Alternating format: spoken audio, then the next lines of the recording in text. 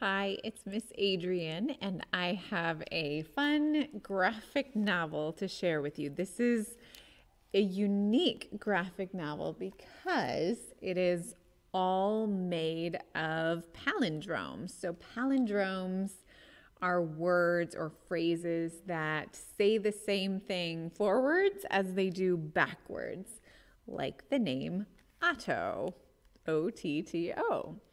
So, inside this book, I managed to make an entire storyline. Um, it's a bizarre story, which definitely helps when you're using only palindromes.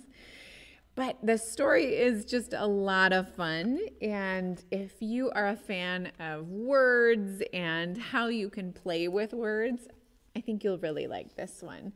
So it starts off uh, in a kitchen uh, there are parents getting things ready, and Otto is kind of stuck in his uh, in his reading. He's a little lost in there.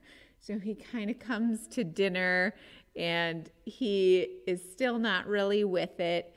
And as he stares at his soup, he starts daydreaming and he goes on this bizarre adventure. Um, one of my favorite palindromes. And it's fun because the palindromes are paired with the illustrations. This one is a fun one. Uh, this way is no garden, but this way is one dragon. So that's that's an example of a of a clever little palindrome. Says the same thing forwards as it does backwards, and then of course there is one dragon. Uh, no garden the other way, of course.